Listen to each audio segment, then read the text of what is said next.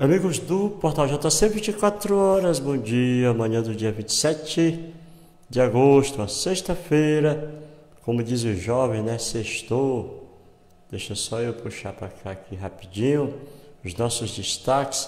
Hoje os destaques estão meio tristes, né?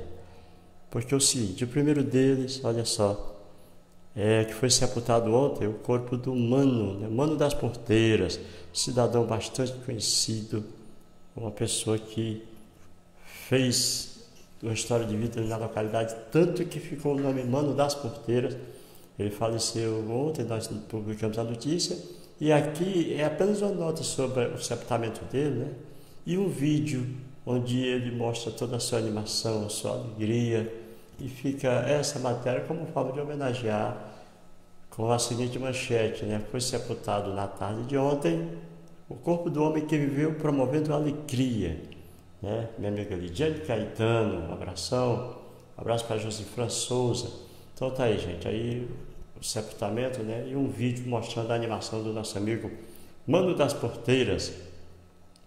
No nosso segundo destaque, tá aí, são os números do setor Covid, que tem oito leitos ocupados, ou seja, tem oito pessoas na UTI do setor Covid, a gente pede a Deus que não, no espaço não muito tempo a gente possa dizer que está zero de ocupação, meu amigo Maurício. Né? Tomara que um dia a gente possa estar aqui dizendo que não tem ninguém na UTI do setor Covid e que tudo isso vai ser só lembrança do passado, com muita fé em Deus. Muito embora a gente tenha que conviver com o problema, mas que óbitos, internações sejam as mínimas, Vamos aqui para o terceiro destaque, a missa de um mês de falecimento dessa criatura maravilhosa, professora Yara Brito. E a missa dela será amanhã. Né? Aí tem todos os detalhes, minha amiga Juscelene Bacelar. E na nossa contagem regressiva, que foi feita ontem à noite, indicando que faltam 19 dias para a nossa live. No caso, a contagem de hoje, 18 dias. Então, está chegando a hora, minha amiga Gislávia. Nós queremos promover um evento muito interativo que, que possa ter a participação do maior número de pessoas. E estamos pra, é, trabalhando dia e noite para que a gente faça o melhor nessa live que vai comemorar oito anos desse trabalho que a gente faz aqui, tá bom? Meu amigo Ivan L. Só que nessa live a gente vai também contar um pouco da história pelo rádio, né? Nós começamos no rádio.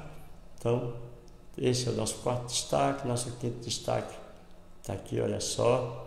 É exatamente noivos juninos de Floriano representaram nossa cidade, nosso estado, em concurso interestadual. Então, é uma matéria interessante para as quadrilhas juninas que estão sendo resgatadas e de maneira já bem positiva, né? Floriano sendo representado, representando o Piauí lá em Sergipe, né? Está aí a Marana Edna, o Suélio, o secretário Regis e a nossa querida amiga Anísia Carvalho, uma criatura maravilhosa.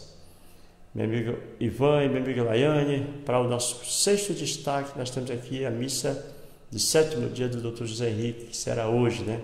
Esse homem foi uma referência, meu amigo Rayane Cardoso, na pediatria aqui na nossa região. Além de um grande cidadão, uma pessoa tranquilo, um cara simples. Dr. José Henrique faleceu e, e hoje será a missa do seu sétimo dia. Vamos encerrar por aqui e já já todos esses destaques estarão modificados, tá bem? Porque aqui a notícia não para. Muito obrigado a cada um de vocês, que Deus abençoe a todos nós. Minha amiga Leia Rodrigues, Portal JC. Opa, tá dizendo aqui, bom dia, adoro assistir você. Opa, muito obrigado, Léa, muitíssimo obrigado mesmo, viu? Muito obrigado a cada um de vocês, que Deus abençoe a todos nós. Portal JC, 24 horas com você.